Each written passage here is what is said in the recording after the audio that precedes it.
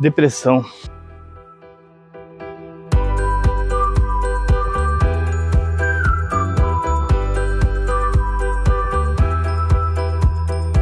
Ansiedade. Essa é uma doença, quem não tem, não entende. E quem tem, sofre. Eu sou Marcos, seu canal Família Diferente e hoje o papo vai ser sério. Então, pega a pipoca, senta que lá vem história. Se você conhece alguém que já passou, está passando por isso, compartilha. E se você se identificou, curte, comenta e compartilha com os amigos. Esse vídeo, tentei gravar ele em várias partes. Na verdade, eu já tô há uns 4 anos tentando gravar esse vídeo, desde que a gente começou a viajar com o trailer. Eu tô tentando falar sobre isso. Pode parecer estranho falar desse assunto aqui no nosso canal, mas essa doença, ela tem tudo a ver com o nosso projeto. Até porque o esse projeto ele nasceu por causa desse problema que eu adquiri há mais ou menos há uns 5 anos atrás. E como a gente resolveu transformar o nosso canal em um vlog, achamos muito importante compartilhar isso com vocês. Afinal, muitas das vezes, isso vai estar tá aparecendo nos nossos vídeos, vai estar tá impedindo a gente de fazer alguma coisa.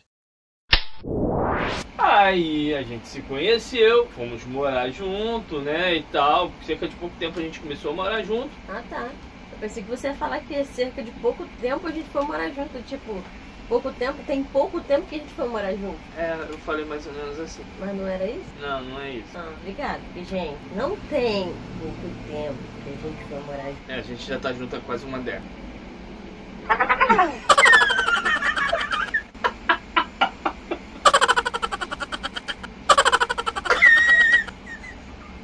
a tua cara é tudo, maluco.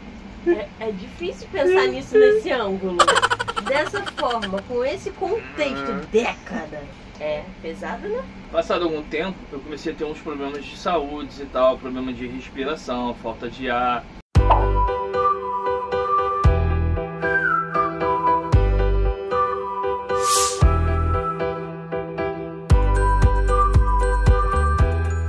Há exatamente um ano, eu demorava 20 minutos para andar esse trecho. Cada passo que eu dava era um sacrifício. Ficava na minha cabeça contando os passos, imaginando se eu ia conseguir voltar. Esse mesmo trecho era 10 minutos, 20 minutos para fazer. Chegar aqui na areia era impossível.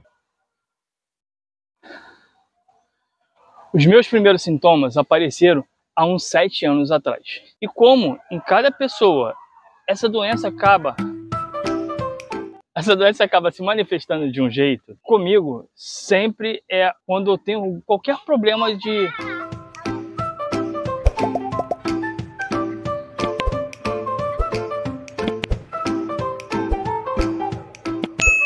comigo ela sempre starta quando eu tenho qualquer dificuldade de respirar. É incrível. Se tiver um tempo mais abafado, se meu nariz entupir, qualquer coisa que gere uma dificuldade de respiração, a minha crise de ansiedade, ela starta na hora. A ansiedade ela me causava falta de ar. Por mais besta que pareça, quando a gente está com ansiedade, a gente está com mil pensamentos negativos na frente do que a gente vai fazer. Quando eu senti os primeiros sintomas, eu procurei um clínico e fiz uma bateria de exame enorme. Quando os resultados chegaram, que não tinha nada, não aparecia nada clínico que justificasse o que eu estava sentindo, foi então que eu resolvi procurar um psicólogo.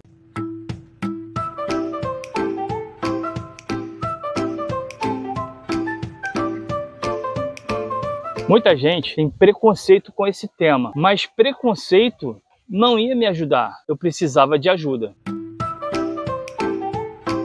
Nesse exato momento, eu tô brigando com a minha ansiedade. Da outra vez, eu não vim até aqui. Eu não sabia nem que tinha isso aqui. E assim, eu não tô curado. Eu tô lutando. Cada dia eu dou um passo para poder vencer a ansiedade. E a gente começa a se perguntar: caraca, o caminho é longo. Será que eu vou conseguir voltar? Será que eu não vou sentir falta de ar? Será que eu vou ter força para voltar? E se eu não conseguir voltar, como é que eu saio daqui? Como vou me tirar daqui? São os pensamentos que passam na cabeça da gente. Eu comecei com ansiedade há mais ou menos uns 4 anos, mais ou menos, 4 a 5 anos. Foi quando eu comecei com algumas dificuldades é, para ir trabalhar, porque eu tinha que atravessar a ponte Rio-Niterói e eu ficava nervoso, eu ficava ansioso, né, com medo. E uma das vezes, e um dia, é, eu estava chovendo muito, muito, muito, e a chuva na ponte me dá medo porque ela balança demais, venta muito. Eu acabei passando mal, parei no meio da ponte e não consegui prosseguir.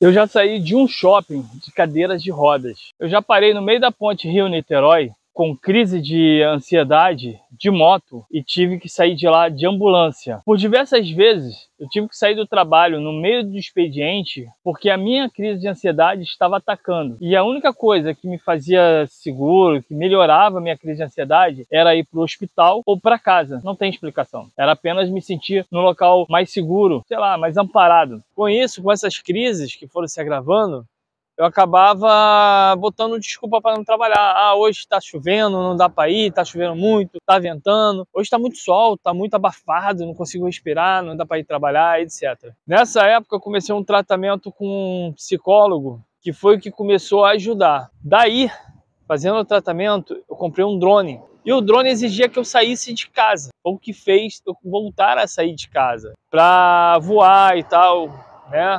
Precisava de espaço para fazer voo com o drone. A curiosidade pelo drone, empolgação com o drone, me fez procurar um espaço para ir voar com o drone, foi o que me tirou de casa para estar tá explorando caminhos. Para poder aprender a voar com o drone, eu fiz umas pesquisas em alguns sites de como voar com drone. E eu descobri um povo viajando numa Kombi e achei interessante. Daí eu fiz o mais improvável. Nós pegamos um trailer e eu comecei a viajar por aí com o trailer.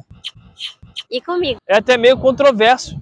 Você tá com crise de ansiedade e você de repente vai fazer uma coisa arriscada, que todo mundo fala que é doideira, que é coisa de maluco. É. Mas, por incrível que pareça, isso me ajudou muito naquela época, muito, muito. Eu tive um avanço muito grande com relação à ansiedade e eu estava conseguindo uh, é, viajar, acampar, ficar em locais mais mais distante, em locais mais ermos, sabe? Isso estava me fazendo muito bem. Só que a ansiedade, depressão, não se cura. Você tem, você controla. É como sempre dizem quando você está com ansiedade, que você tem medo de fazer as coisas. O medo faz parte de você. Ele tem que fazer parte de você. É a tua segurança, é a tua proteção. Pior de tudo isso, gente, depois que passa a crise de ansiedade, a gente fica assim, cara, pra quê? Que bobeira. Não tinha perigo nenhum. Era só fazer isso ou aquilo. Tipo, eu tava no meu trabalho, começava a sentir ansiedade, é, eu ia embora para casa, chegava em casa, passava e tal, falava, caraca, para que isso? Tão bobo, era só sentar na cadeira, respirar, ficar calmo, tava tranquilo, tava seguro, cercado de amigos e tal, não sei o que. Só que esse pensamento, ele só vem depois que a crise passa, porque na hora a gente não consegue pensar isso. O nosso subconsciente, ele tá trabalhando contra. Nosso corpo tá trabalhando contra. Parece que na hora o nosso subconsciente passa uma sensação de perigo pro nosso corpo e o nosso corpo parece agir como uma autodefesa. E isso acaba nos fazendo mal. Essa é a história que eu queria compartilhar com vocês. Não posso dizer que eu já ganhei essa luta, mas a cada dia eu me sinto mais forte, mais confiante, seguindo os passos para poder tratar essas crises de ansiedade. Espero com esse vídeo ajudar muita gente, levar confiança, levar positividade e passar que é possível. É possível seguir a vida vencendo a ansiedade. Acredite, busque vencer seus medos. Busque aonde vai te fortalecer que você consegue. Bom, gente, eu sou o Marcos e essa é a minha história.